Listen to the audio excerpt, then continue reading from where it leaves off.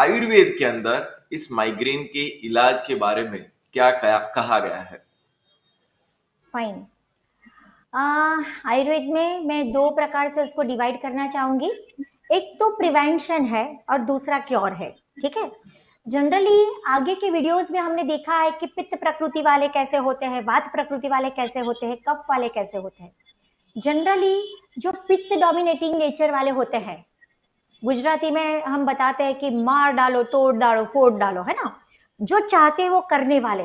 बहुत ही अंदर से anxious personality they are having good leadership quality but जो चाहते हैं, उसमें वो दिमाग लगाए रखते हैं। तो उनका नेचर इतना डोमिनेटिंग होता है, इतना वाइल्ड भी होता है, कि एक बार सोचा, एक बार ठान लिया कि ये मुझे करना है, और इतने बजे करना है तो वह वो करके ही रहेंगे। तो जनरली ऐसा है कि ऐसे नेचर वाले को जो ज़्यादा सोचते हैं तत्व चिंतक है राइटर्स है इंटरनली भी उनकी सोच चलती ही रहती है, ऐसे लोगों को यह डिसीज होने की पॉसिबिलिटीज बहुत ही ज़्यादा है। दूसरी महत्व की चीज़ कि जनरली जिनका स्ट्रेस लेवल बढ़ा हुआ है, जिनका बायोलॉजिकल क्लॉक डिस्टर्ब है, खाने का टाइम सोने का टाइम उठने का टाइम पूरा डिस्टर्ब है, उसमें एक रेगुलरिटी मेंटेन नहीं है। वैसे लोगों को भी यह चीज़ होने की पॉसिबिलिटीज ज़्यादा है। कई लोग ट्रैवलिंग ज़्यादा करते हैं, धूप में ज़्यादा जाना होता है, रात को जगना ज़्यादा होता है, वैसे लोग भी they are more prone to disease so ये एक पॉसिबिलिटी है। अभी जैसे हितांश जी ने बताया कि ट्रीटमेंट क्या हो सकती है। ट्रीटमेंट को भी हम अलग अलग हिस्से में डिवाइड कर सकते हैं। सबसे पहले है प्रिकॉशनरी बेस मैं ऐसा मानती हूँ कि हर एक जो भी माइग्रेन के लिए ज़्यादा होने की पॉसिबिलिटीज़ है या तो जिनको आगे कभी अटैक फील हुआ है, उनको अपने डेली रूटीन में दो चीज़ को इन्वॉल्व करनी चाहिए। एक है प्राणायाम। डेली अनुलोम विलोम, भ्रामरी, शीतली, शीतकारी, जिसमें दिमाग शांत हो सके, थोड़ा हम अपने आप में उतर सके, अपने आप पे कंसंट्रेट कर सके वैसे प्राणायाम डेली बेसिस पे उनको करने चाहिए।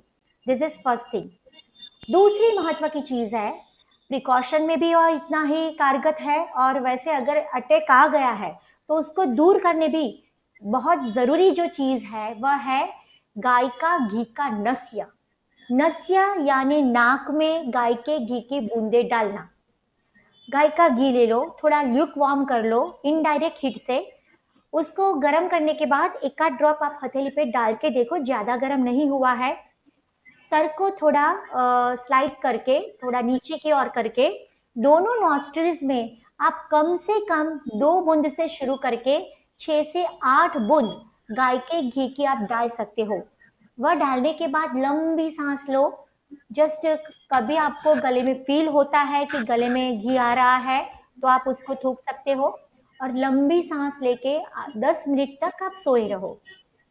इसे कहते हैं गाय का घी का नस्य, गो घृत नस्य।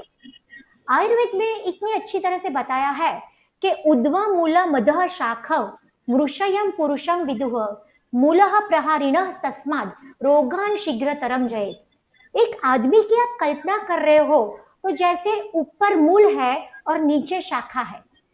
सर के भाग में आदमी का वृक्ष का मूल है और नीचे की ओर शाखा है। मूल पे प्रहार करोगे तो जो भी शाखा में डिसीज है, वो अपने आप चले जाएँगे।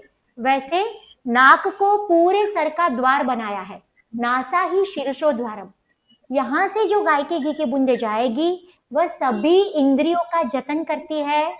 आपके माइग्रेन की फ्रीक्वेंसी सिवियरिटी ड्यूरेशन यह सबको गाय का घी का नस्य मैनेज करेगा।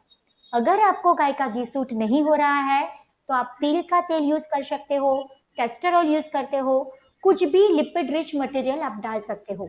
सो so, एक जो मैंने बताया कि प्रिकॉशन बेस हमें क्या चेंज करना है दूसरा प्राणायाम और नस्य को अपने डेली रूटीन में आपको ले लेना है।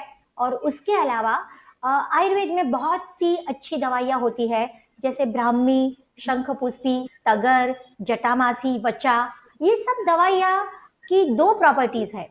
एक वेदना स्थापक वेदना स्थापक यानी कि आपका जो पेन है, उसको वह रिलीव करता है। और दूसरा दूसरा है मेद्य, यानी आपकी याददाश्त बढ़ाता है।